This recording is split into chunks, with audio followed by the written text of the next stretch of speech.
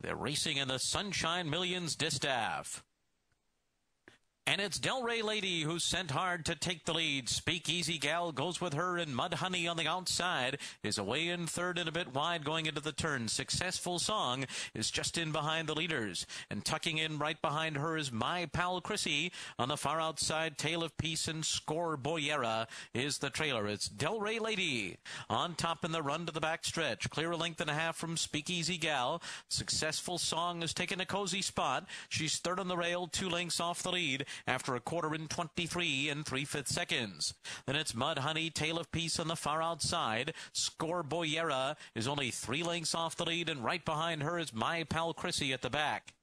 They continue the run up the backstretch, where Delray Lady and Joe Bravo make the pace and they're on top by a length over successful song and speakeasy gal to the outside past a 48 flat half mile these three are well bunched as they move for the turn it's Mud Honey. My Pal Chrisy to the inside, followed by Score Boyera and Tale of Peace is the trailer. Around the far turn.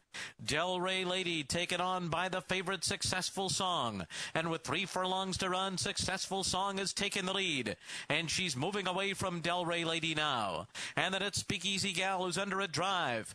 My Pal Chrisy is gaining some ground from fourth, but Successful Song's looking good as they come to the top of the stretch. Three quarters in one, 12 and two. They're into the stretch, and Joel Rosario and Successful Song set sail for home. And they've got the lead to themselves.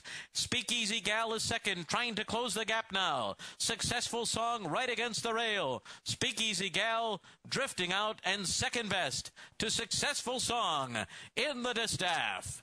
My pal Chrisy was third, and then came Delray Lady.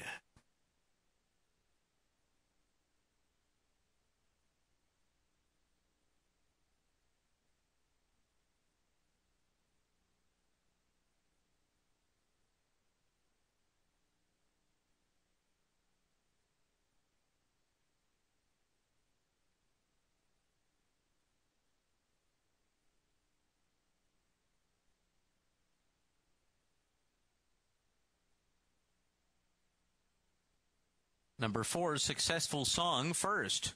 Five, Speakeasy Gal second. One, My Pal Chrisy third. Two, Delray Lady fourth. Hold all tickets until it's official. Final time 1 minute 52.28 seconds.